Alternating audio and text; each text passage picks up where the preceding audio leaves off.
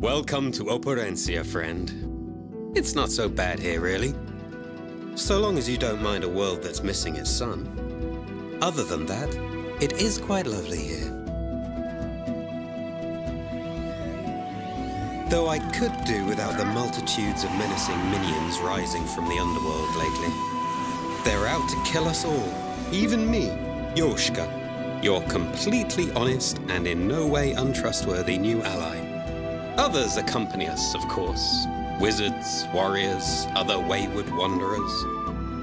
We all share one common goal to find the sun and save Operencia. Care to lead the way?